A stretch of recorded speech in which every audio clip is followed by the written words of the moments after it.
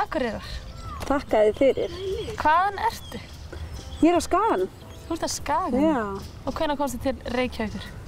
Þegar ég var þryggjara. Það varst þryggjóra? Já, flutti ég til Reykjavíkur.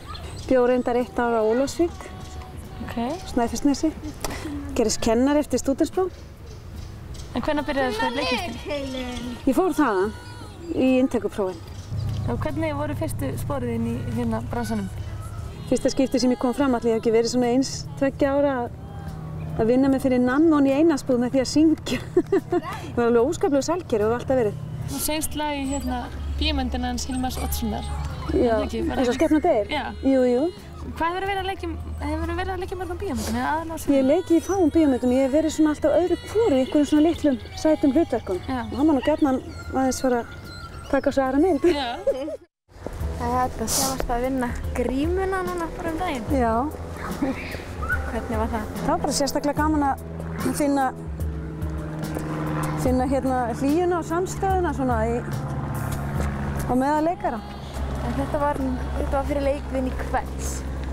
Já, og, og hérna hægan elektra. Það, uh, Þú var ekki krillin hjörtu? Jú, svo var ég Já. ég fekk, semst, veist, já, Vá. já, ég semst, steifti þarna aðalveljanunum þarna fyrir þessi tvö verk. Já. Já. Varstu búin að byggja hillu fyrir verðlunagrifina? Já, já. nei, nei, þetta er bara svolítið fallegi gripir, get ég sagt ykkur. Og það er alveg hægt að hafa, hafa þá einhvers staðar uppi við. Og sen hefur þið aftur síningar á kvelds, eða ekki? svo nefnilega. Út af alla þessari velgengni? Já, bara út af þessari, já, má segja það. Reyndar uh, hættu við fyrir fullu húsi í vor, þannig að það kannski stóð til að taka upp nokkar sýningar.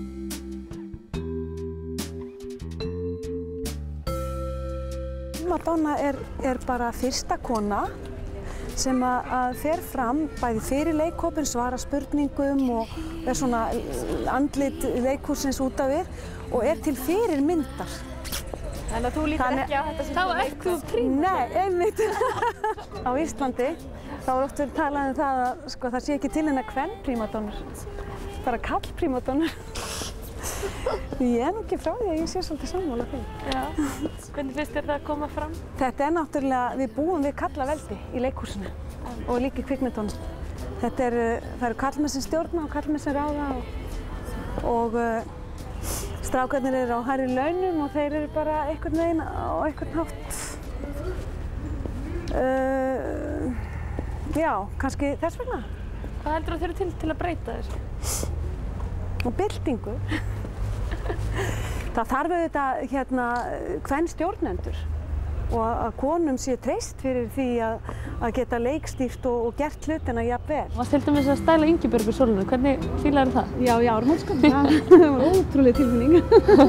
Mér fannst það óbúslega gaman. Já. Og hérna, Já, fjast að vera í spökstónu líka, þeir eru alltaf hann að kalla nýra. þetta er virðingasæti, ég er nú búin að vera að skora á það sko að lauma svona inn einn og einni hvernpersonu þarna Já. inn í þáttinu. Ég vona að það verði nú bara svona til þess að það verði gert. Já. Við eigum svo góða samanleikunni. Já.